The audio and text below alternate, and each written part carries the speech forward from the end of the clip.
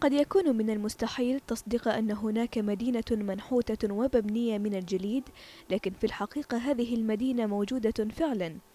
إنها في متنزه زهاون بمدينة هاربن والتي تقع شمال شرق الصين والمعروفة بفصل شتاء طويل وبارد. تعرف هذه المنطقة بأكبر مهرجان للنحت على الجليد في العالم. إذ تستقبل ما يعادل مئة ألف زائر سنويا. يبدأ العمال في شهر ديسمبر بإنشاء المدينة لأكثر من شهر تقريبا وذلك لكي تفتتح بالخامس من يناير مع العلم أن درجة الحرارة تكون حينها قد بلغت 42 مئوية تحت الصفر مما يساهم في صمود البنايات وتماسكها.